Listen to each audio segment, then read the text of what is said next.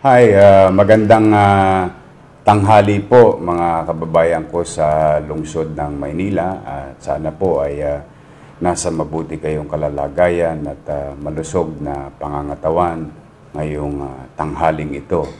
Mga kababayan, ah, nga meron po kaming uh, espesyal na announcement ah, patungkol sa mga pinagandahan at pinagpaplano ng inyong pamahalang lungsod upang kaharapin sama-sama tayo na labanan itong ah, lumalalang ah, sitwasyon ng COVID-19 virus ah, sa ating ah, lungsod. Mga kababayan, halos sa humigit kumulang anim na linggo na po tayo na under the ECQ. No? At ah, marami na rin tayong napagdaanan. ah, marami na rin mga polisiya. Marami na rin ah, mga at least ah, konting ayuda na binibigay ang pamahalaan.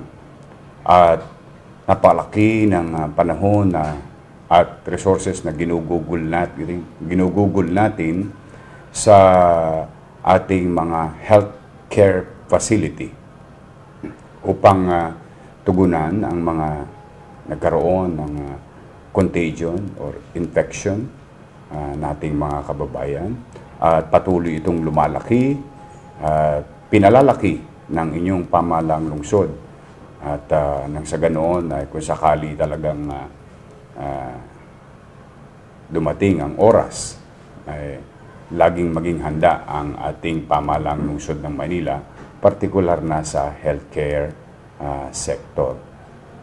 Pagka ganun man, mga kababayan, ay ah, maraming effort na kahit na marami ng effort ang nagagawa ang pamahalang lungsod at ang ating national government ay patuloy pa rin ang paglago ng ating ah, kalaban o itong ating kinakaharap na krisis.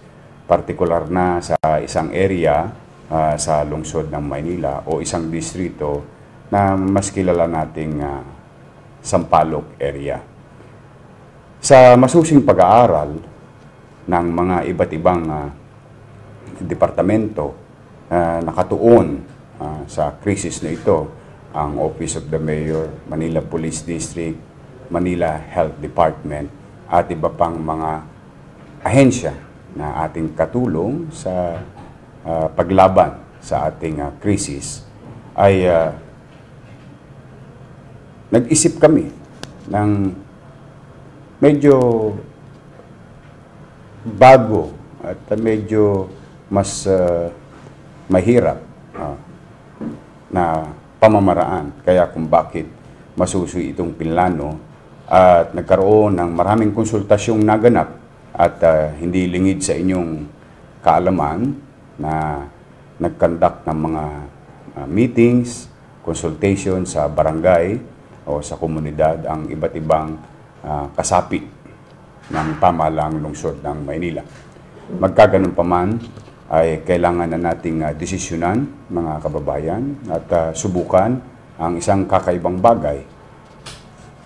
Hinihingi ko lamang sa inyong lahat, mga kababayan, ang pakikiisa po.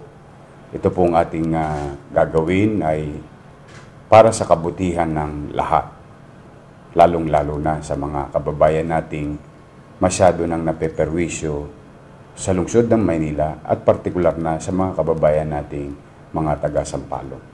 Marami pong mga taga-Sampaloc ang humihingi ng tulong sa lungsod ng Maynila na magkaroon na po ng uh, total lockdown o hard lockdown dahil sa marami namang sumusunod sa panawagan ng Pangulong Duterte na kung wala rin lamang gagawin na mahalaga sa labas ng bahay sa oras ng araw uh, ay uh, manatili na lamang sa loob ng bahay.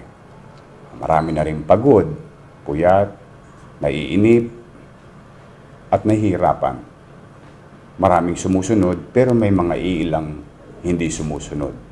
At itong kakaunti na ito na hindi sumusunod ay siyang nagdadagdag ng bilang ng paglago at paglaki ng infection sa ating uh, komunidad. At para po sa inyong kaalaman, base sa datos kagabi, ah, alas 5 ng hapon, kahapon, no?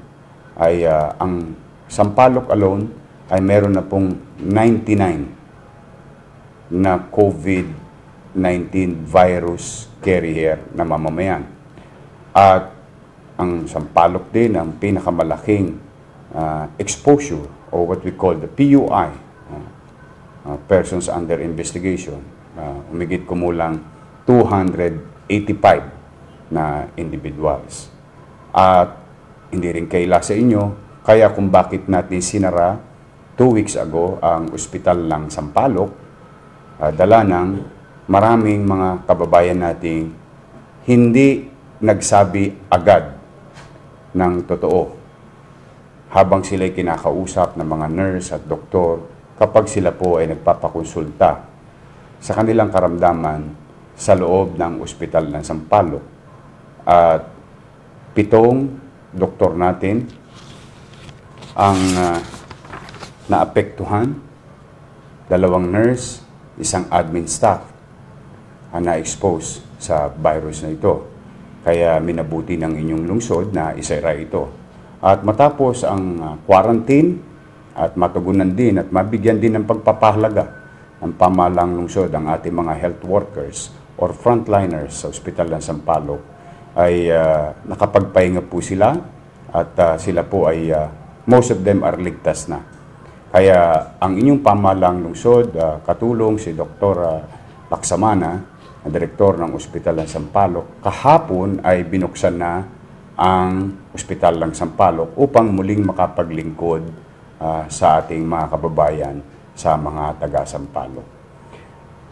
Mga kababayan, minsan sa buhay natin ay kailangan tayong gumawa ng mga bagay na kakaiba para magkaroon din ng ibang resulta. Susubok tayo na baka sakali na ito ay isang mabuting pamamaraan o epektibong pamamaraan Uh, walang nakapaggagarantiya, pero wala rin namang masamang sumubok. Sapagkat sa maraming araw na aking pagre-report sa inyo, nagpag-update sa inyo, aking pong laging sinasabi na walang lathalalain, la, mga kasulatan, libro, pamamaraan, na tiyak kung paano mapagtatagumpayan ang isang krisis na katulad ng kinakarap natin na tinawag ng World Health Organization na isang pandemic. The last time that we had this in our world was 1920. So, marami sa atin ay hindi pamilyar at wala pong presidente, vice president, cabinet secretary, senator, congressman, mayor, governor ang nakakalam ng tunay na pamamaraan para marisolba ang sitwasyon o ganitong krisis na ating kinakaharap. Sapagkat hindi rin kaila sa inyo, sinabi rin ng World Health Organization na wala pang gamot sa COVID-19. At ang isang pagpapatunay dyan, hindi dahil sa mahina ang ating mga leader sa ating syudad, probinsya, o pamahalaan sa nasyonal, ang pagpapatunay diyan, pati ang mga matatayog na bansa tulad ng Estados Unidos, makapangyarihan, lahat ng scientifico ay nasa kanila na, resources ay nasa kanila na. Pero magpasa hanggang ngayon, sila po ay nasa krisis at mas mabigat ang kanilang kinakaharap. Ganon din sa Europa at sa ating mga kapit bayan dito sa rehiyon ng Asya. Kaya po, mga kababayan, ako po'y hinihikayat ko kayo na makiisa sa gagawin natin sa Sampaloc. A few minutes ago, akin na pong pinirmahan ang bagong executive order ng ating lungsod. At nais ko pong uh, basahin sa inyo ang executive order na ito. And I hope you don't mind to continue watching and listening carefully and kung may pagkakataon ay uh, kundi man kalabisan, uh, please share this uh, information for proper guidance ng ating mga kababayan, uh, hindi lang sa Sampaloc, pati na rin sa buong Maynila. an order providing a 48-hour shutdown in the entire Sampaloc district of Manila from 8 p.m. of April 23, 2020 until 8 p.m. of April 25, 2020 for purposes of disease, surveillance, verification, or testing and rapid risk assessment in relation to COVID-19. Ibig sabihin, sa Webes, alas 8 ng gabi, magsisimula. Whereas, under Section 15, Article 2 of the Philippine Constitution, it is the state's policy to protect and promote the right to health of the people. Whereas Republic Act RA 11332, otherwise known as Mandatory Reporting of Notifiable Diseases and Health Events of Public Health Concern Act, provides that the state shall endeavor to protect the people from public health threats through the efficient and effective disease surveillance of notifiable diseases, including emerging infectious diseases, and provide an effective response in compliance with international standards. Further, the state recognized public health emergency as threats to public health and national security. Whereas, Section 3, open close parenthesis, N of RA 11332 defines response as the implementation of specific activities to control further spread of infectious outbreaks or epidemics, prevent reoccurrence. It includes verification, rapid risk assessment activities, among others. Whereas Section 6, open close parenthesis E, RA 11332 provides that DOH and its local counterparts have the statutory and regulatory authority to enforce, among others, rapid containment, quarantine, and isolation, disease prevention and control measures, and response activities for events of public health concern. Whereas, President Rodrigo R. Duterte, Rodrigo R. Duterte issued proclamation number 922-2020 declaring a state of public health emergency throughout the Philippines in view of the COVID-19. Under Presidential Proclamation number 922, the spread of COVID-19 was considered as an emergency that threatens the national security. This declaration capacitated local government units to immediate act, immediately act to prevent loss of life, utilize appropriate resources to implement urgent and critical measures to contain or prevent the spread of COVID-19 as well as to mitigate its effect and impact to the community.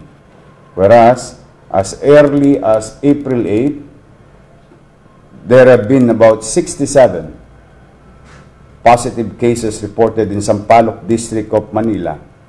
On April 19, these numbers continue to rise with a total of 98 positive cases and 158 suspected cases in the area. Whereas, under Section 455, open close parenthesis letter B, open parenthesis number 1, open, parent, open and close parenthesis Roman numeral number 7 of the Local Government Code. The city mayor is empowered to carry out such emergency measures as may be necessary during and in the aftermath of man-made and natural disasters and calamities.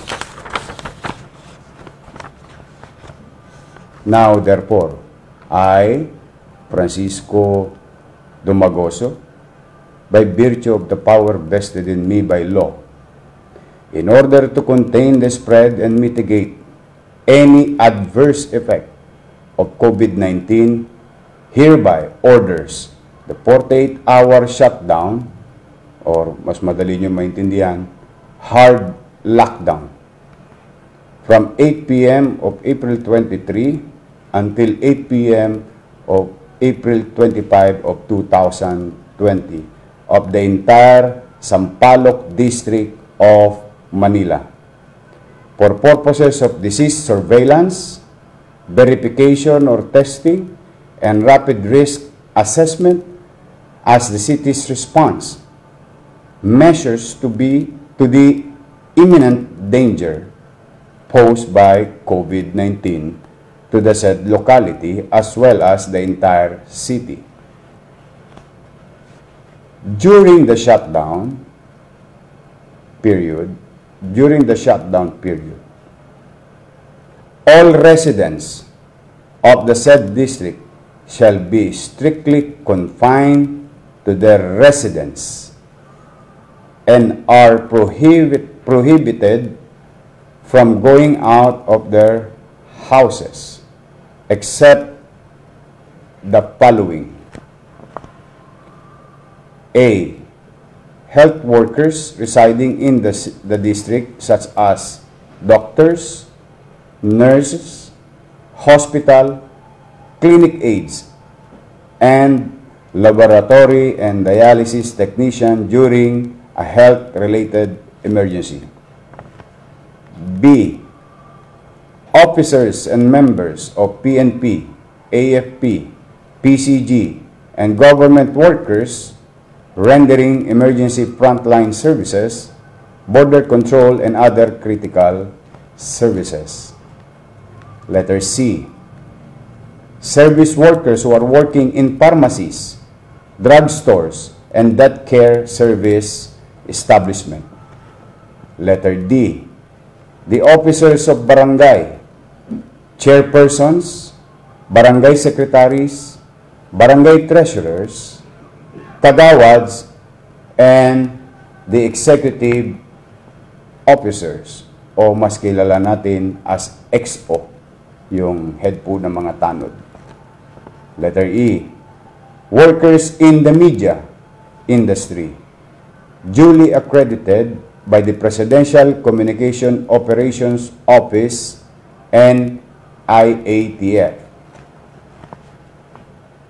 All other commercial, industrial, retail institutional, eh, retail, institutional, and other activities not mentioned in the above exemptions in the said district shall be suspended within the specific or specified period of the shutdown. Further, pursuant to the power of operational supervision and control of the city mayor over Philippine National Police, units in their respective jurisdiction, station commanders of police stations in the said district are hereby directed to employ and deploy officers and personnels in strategic location and areas in the district necessary for the effective implementation of the shutdown as identified under the approved concept of operation. This executive order shall take effect immediately, signed by yours truly. Kaya po mga kababayan, yan po ang nilalaman ng ating executive order. I hope malinaw po sa ating lahat. Kaya po inagahan namin ang aming announcement para nang sa ganoon ay magkaroon kayo ng mga preparasyon. At ang inyong lingkod naman, meron pa tayong uh, mga uh, a few thousands individuals or I mean families that needs to be addressed today and tomorrow. And I hope two days is enough for you to prepare for the shutdown or hard lockdown of the entire Sampaloc on Thursday. Ulitin ko po, no? Huwebes hanggang Biyernes. Wala pong lalabas ng bahay. Kinakansela po namin ang lahat ng inyong mga quarantine pass na ginagamit sa araw. At hinihikayat po namin kayo na bilhin nyo na ang inyong mga gamit ngayong araw na ito, bukas o sa Webes ng umaga. Dahil pagdating ng gabi, ay tayo na po ay magpapatupad. Kapag hindi po kayo napapabilang sa mga exempted, ang isang konsiderasyon nyo, hindi po kayo pwedeng lumabas. At kung sakali na meron namang lalabag pa rin,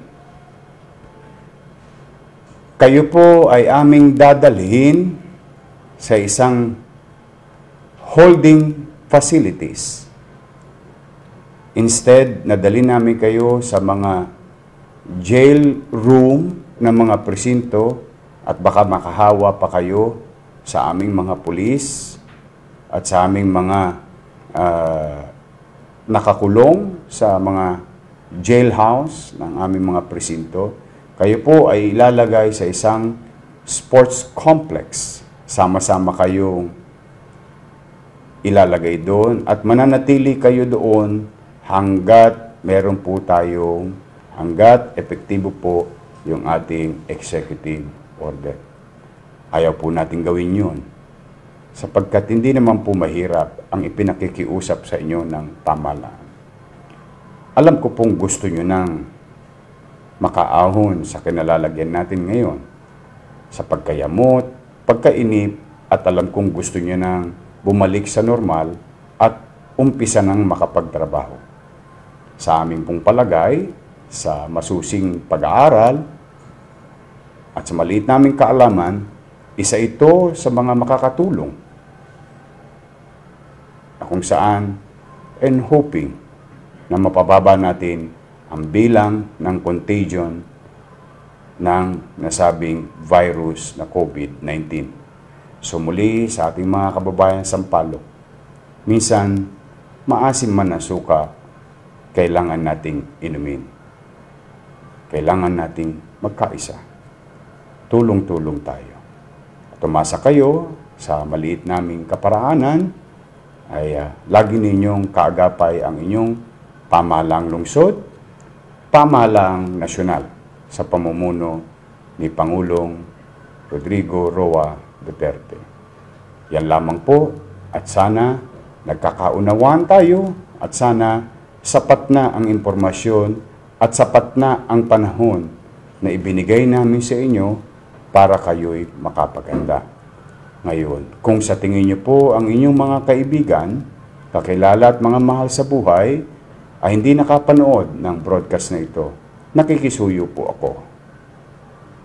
Please share it to them and please watch the entire broadcast for proper information dissemination and guidance of everybody.